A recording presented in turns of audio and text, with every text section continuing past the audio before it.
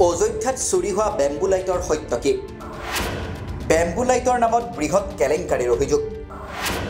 আধাতকৈও কম সংখ্যক লাইট ধৰা হৈছিল যোগান। ৰাষ্ট্ৰীয় সংবাদ মাধ্যমৰ বাতৰিত পোহৰলৈ আহিল সত্য। অযোধ্যাত ৰাম মন্দিৰ স্থাপনৰ সময়ত ৰাম মন্দিৰলৈ যোৱা ৰামপথ আৰু ভক্তিপথ উজ্বলাই তোলাৰ অৰ্থে ব্যাপক হাৰত লগোৱা হৈছিল বেম্বু লাইট আৰু গৌব প্ৰজেক্টৰ লাইট। বাঁহেৰে নিৰ্মিত সুসজ্জিত লাইটেৰে আলোকিত কৰিব খোজা হৈছিল অযোধ্যাৰ বাট পথ কিন্তু শেহতীয়াকৈ ৰামপথ আৰু ভক্তিপথত তিনি হাজাৰ আঠশটা বেম্বু লাইট আৰু ছিয়ানব্বৈটা গৌব প্ৰজেক্টৰ লাইট চুৰি হোৱাৰ খবৰ ওলাইছে। এই সন্দৰ্ভত এজাহাৰো দাখিল কৰিছে বেম্বু লাইট লগোৱা কোম্পানীটোৱে। চৈধ্য আগষ্টত এই খবৰ প্ৰকাশৰ পাছতেই দেশত ইয়াকে লৈ সৰব চৰ্চা চলে। সমাজবাদী পাৰ্টীৰ প্ৰমুখ অখিলেশ যাদৱে এই কাণ্ডক লৈ চৰকাৰ প্ৰশাসনক তীব্ৰ সমালোচনা কৰে। কিন্তু ৰাষ্ট্ৰীয় সংবাদপত্ৰ দৈনিক ভাস্কৰে প্ৰকাশ কৰিছে চাঞ্চল্যকৰ তথ্য।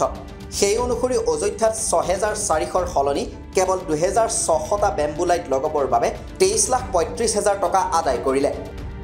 লগতে ছিয়ানব্বৈটা গৌবৰ প্ৰজেক্টৰ লাইট লগাবৰ হকে আদায় কৰা হ'ল আঠত্ৰিছ লাখ চৌসত্তৰ হেজাৰ টকা। অযোধ্যা বিকাশ প্ৰাধিকৰণৰ উপাধ্যক্ষ অশ্বিনী পাণ্ডে সদৰি কৰে এই তথ্য।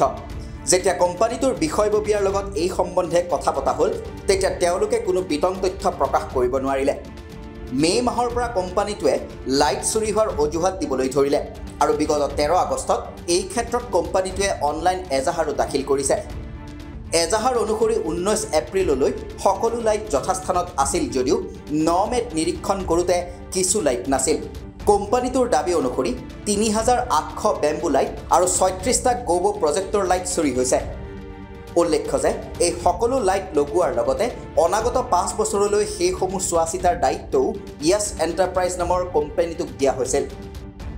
কিন্তু ৰাষ্ট্ৰীয় সংবাদপত্ৰৰ মতে এতিয়া যিসমূহ লাইট আছে তাতেও ব্যাপক বিসংগতি ধৰা পৰে। ক'ৰবাত যদি বাঁহৰ গঢ়টো আছে কিন্তু লাইট নাই। আৰু ক'ৰবাত তাঁৰ ছিগি আছে। বেছিভাগ লাইট নজ্বলেই। এই খবৰ প্ৰকাশৰ পাছতেই প্ৰতিক্ৰিয়া জাহিৰ কৰিছে কংগ্ৰেছ নেতা পৱন খেৰাই। তেওঁ এক্সত লিখে যে অযোধ্যাত বেম্বু লাইট চুৰি হোৱাৰ সত্য এয়া যে কোম্পানীয়ে দুহেজাৰ ছশ লাইট লগাই ছহেজাৰ চাৰিশ লাইটৰ মূল্য আদায় কৰিলে। সত্য ফাদিল হলত চুৰি হোৱাৰ এজাহাৰ দিলে। অযোধ্যাৰ বেম্বু লাইটৰ ক্ষেত্ৰত সংঘটিত এই দুৰ্নীতিৰ সত্য প্ৰকাশৰ পাছতেই পুনৰ দেশত ইয়াকে লৈ সৰব চৰ্চা চলিছে। এই দুৰ্নীতি কৰিবলৈ কোম্পানীটোৱে সাহস কেনেকৈ পালে? চৰকাৰ প্ৰশাসনে এই ক্ষেত্ৰত চালি জাৰি চোৱা নাছিল কিয়? সেয়া লাগিলে যিয়েই নহওক বিৰাট ঢাক ঢোল বজাই অযোধ্যাৰ ৰাম মন্দিৰৰ প্ৰাণ প্ৰতিষ্ঠা যে খৰতকীয়াকৈ কৰা হৈছিল তাত কোনো সন্দেহ নাই।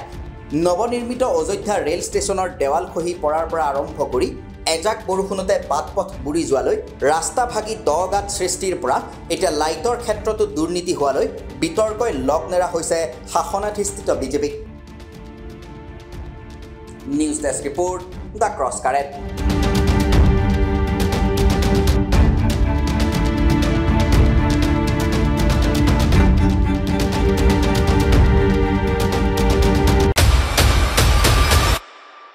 তথ্যৰ ভিত্তিত বিশ্লেষণ। যুক্তিৰ আধাৰত সিদ্ধান্ত। The ৱাইৰৰ national affairs editor Sangeeta Barua পিছৰতিৰ বিশেষ অনুষ্ঠান নিৰ্ণয়। প্ৰতি সোমবাৰৰ পৰা বৃহস্পতিবাৰলৈ নিশা ন বজাত কেৱল দি ক্ৰছ কাৰেণ্টত।